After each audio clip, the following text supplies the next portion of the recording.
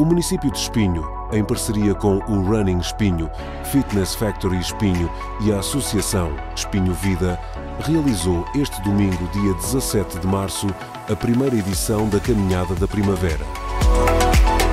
O vice-presidente da Câmara, Luís Canelas, e a vereadora Leonor Ledo da Fonseca juntaram-se a cerca de uma centena de pessoas de todas as idades para conviver e percorrer cerca de 5 quilómetros com muita energia, aproveitando o bom tempo e usufruindo dos benefícios de fazer atividades ao ar livre.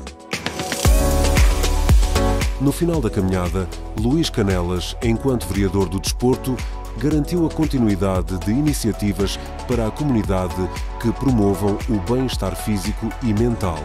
deixando o convite à população para se envolver nas várias ações que serão dinamizadas ao longo do ano.